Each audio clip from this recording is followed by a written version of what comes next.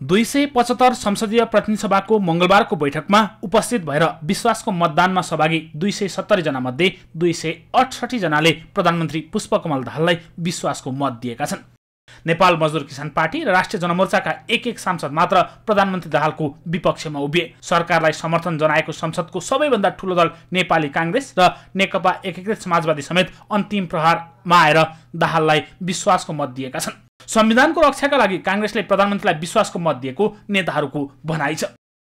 राष्ट्रिय सहमति र राष्ट्रिय एकता कायम हुनुपर्छ भनेर आज त्यही अनुसार सबै राष्ट्रिय पार्टीहरू सबै राष्ट्रिय शक्तिहरू एक ठाउँमा उभिएर यो विश्वासको मत पारित भएको छ।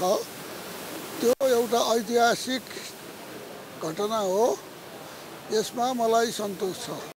काङ्ग्रेसका युवा सांसदले भने व्यङ्ग्यात्मक टिप्पणीसहित रोचक अभ्यास भएको प्रतिक्रिया दिएका छन्। संसद दलमा फरक मत राखेका सांसदहरूले प्रतिपक्षमा रहेर रचनात्मक भूमिका निर्वाह गर्ने बताएका छन्। पदीय भागभण्डामा काङ्ग्रेस सामेल नहुने सांसदको स्पष्ट चोक्ति छ।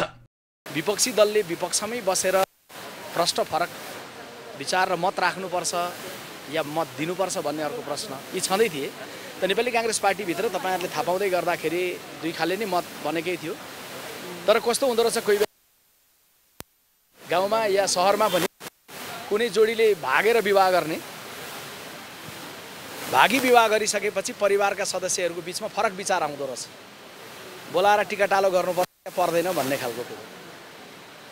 तर विवाह गरेर गइसकेको जोडीलाई फेरि पनि परिवारले बोलाएर टिकाटालो गर्दै गर्दा कसैले फर्गाउँलेको रूपमा कसैले जन्तीको रूपमा सामेल हुनुपर्दो रहेछ। मतलब संसदीय व्यवस्थाको परम्परा अनुसार चाहिँ प्रतिपक्ष पार्टीले सामान्यतया सत्ता पक्षमा उभिएर मत दिने गर्दैन। अब यो संसदीय व्यवस्था भित्र यो अभ्यास थिएन। हामीले त्यही कुरा उठाएको हो। तर अब राजनीतिक सहमतिका आधारमा हाम्रो पार्टीले यसलाई मत दिने निर्णय गरेको छ। अब त्यसमा सत्तारूढ गठबन्धनभित्र सबै खाले सहमति भइसकेको छ। काङ्ग्रेसले विश्वासको मत दिएसँगै प्रधानमन्त्री दाहाललाई असाधारण समर्थन जुटेको छ। बहुमतको लेखाजोखाकै बीच दाहाल नेतृत्वको सरकार राष्ट्रिय सहमतिको बन्न पुगेको छ। कानुन रूपमा प्रधानमन्त्रीलाई समर्थन गरेपछि काङ्ग्रेसले प्रमुख प्रतिपक्षी दलको मान्यता भने पाउने छैन। संसदमा प्रतिपक्षीको भूमिका निर्वाह गर्छ भनेर अपेक्षा गरेको नेपाली काङ्ग्रेसले अन्तिम समयमा विश्वासको मत दिएको छ। फरक मतका बीच विश्वासको मत प्रस्तुत गर्दै गर्दा काङ्ग्रेसको आगामी रणनीति कस्तो हुन्छ चौतर्फी चासोको विषय बनिरहेको छ।